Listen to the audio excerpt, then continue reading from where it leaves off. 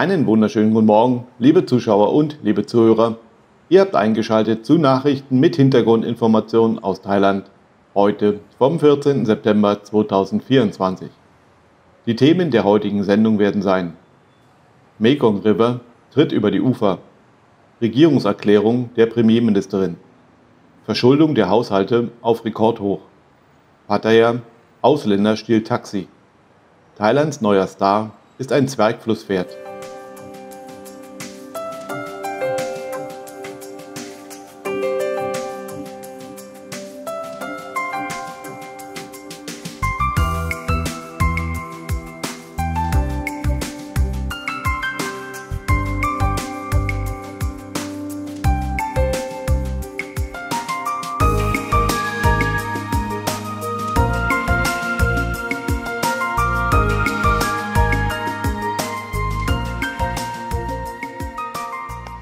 Mekong River tritt über die Ufer.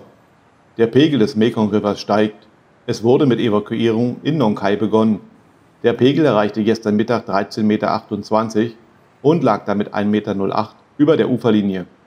Das steigende Wasser hat bereits zu einer erheblichen Überschwemmung der Uferstraße geführt. Um die Auswirkungen auf das Wirtschaftszentrum der Stadt abzumildern, versuchen Behörden der Stadtverwaltung mit Sandsäcken zu verhindern, dass das Hochwasser in das Stadtzentrum eindringt. Was Chiang Rai betrifft, so ist die Provinz weiterhin von schweren Überschwemmungen betroffen, die Tausende von Menschen vertrieben und große Schäden an Häusern und Infrastruktur verursacht haben. Premierministerin Petongtan machte sich vor Ort ein Bild. In der Provinz ist vor allem der Bezirk Mesai betroffen. Rettungsteams versuchen, Menschen in schwer zugänglichen Gebieten zu erreichen, die sofortige Hilfe benötigen. Viele ältere Menschen, Frauen und Kinder sitzen in Häusern fest oft ohne Nahrung, Trinkwasser und medizinische Versorgung. Der internationale Flughafen in Shanghai war am Donnerstag geschlossen worden, ist jetzt aber wieder geöffnet. Die Frage ist nur, ob man wegen der Überschwemmung auch zum Flughafen gelangen kann. Es wird daher empfohlen, bis zu fünf Stunden für die Anreise zum Terminal einzuplanen. Passagieren wird empfohlen, sich vor Abflug von und nach Shanghai bei ihren Fluggesellschaften nach dem neuesten Stand der Dinge zu erkundigen.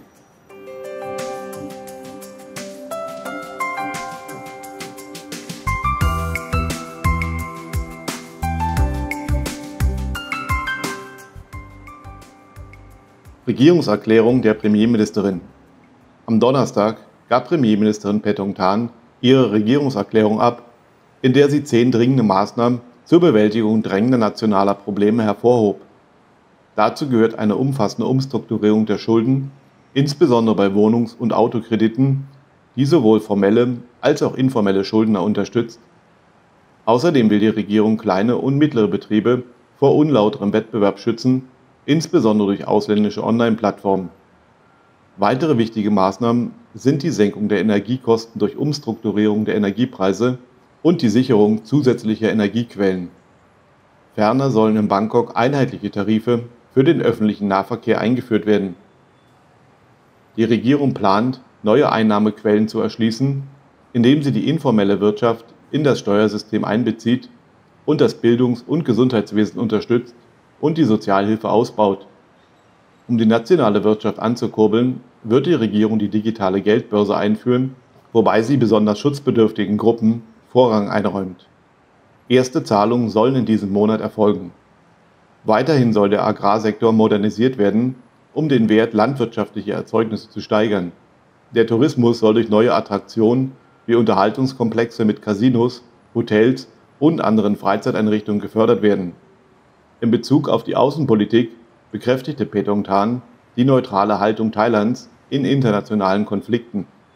Man konzentriere sich auf die Förderung von Frieden und die wirtschaftliche Zusammenarbeit mit anderen Nationen.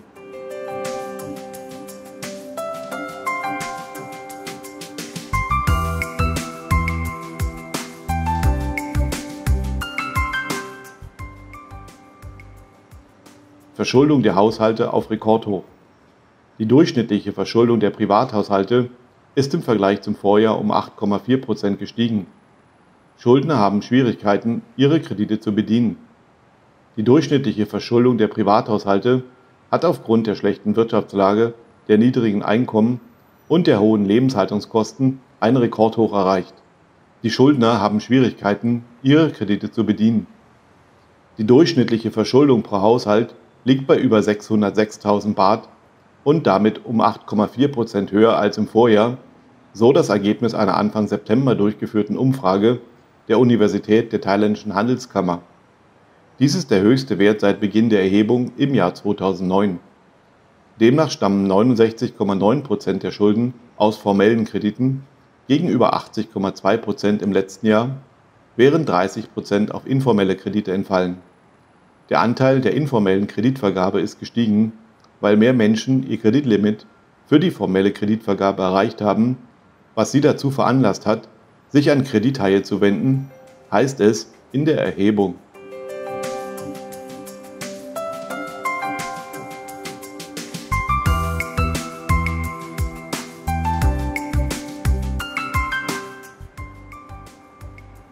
Pattaya. Ausländer stiehlt Taxi. Ein ausländischer Tourist, der etwas über den Durst getrunken hatte, stahl ein Taxi direkt gegenüber einer Kontrollstelle für Trunkenheit am Steuer und prallte gegen einen Strommast. Der Vorfall ereignete sich am Donnerstagmorgen gegen 4 Uhr auf der Tepasit Road. Die herbeigerufene Polizei hatte es nicht weit, denn der gesamte Vorfall ereignete sich nur wenige Meter von einer Polizeikontrollstelle entfernt. Ein blau-gelbes Taxi war von der Straße abgekommen und gegen einen Strommast geprallt. Die Vorderseite des Fahrzeugs war stark beschädigt. Der stark betrunkene ausländische Fahrer trug nur Boxershorts. Er wirkte verwirrt. Der Besitzer des Taxis erklärte, er habe den Motor laufen lassen, während er in einem Lebensmittelladen ging. Während des Einkaufs bemerkte er, wie der Ausländer ins Taxi einstieg und davonfuhr. Diese Unart ist oft zu beobachten. Auto- und Motorradfahrer parken am Straßenrand, verschwinden vorübergehend, lassen aber den Motor laufen. Dadurch wird der eine oder andere durchaus in Versuchung geführt.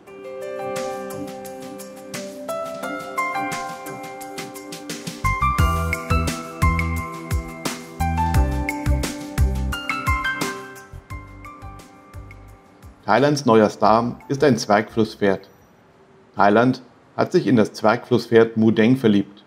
Gleichzeitig aber bittet der Kaugeo Open Zoo in Chonburi die Besucher, sich in der Nähe des Tieres zu benehmen. Die vielen Videoclips und Fotos in den sozialen Netzwerken haben Mudeng zu einem Star gemacht. Das zwei Monate alte Zwergflusspferdweibchen erobert die Herzen der Thais wie im Sturm. Auch international wird Mudeng Aufmerksamkeit geschenkt. Das Time Magazine veröffentlichte am Freitag eine glühende Hommage und bezeichnete das Zwergflusspferd als Ikone in Großbritannien berichteten der Guardian und die BBC, in Singapur die Straits Times und in Japan mehrere Fernsehsender. Kein Wunder, dass dies zu einem kontinuierlichen Anstieg der Besucherzahlen im Zoo in Sriracha geführt hat, insbesondere an den Wochenenden.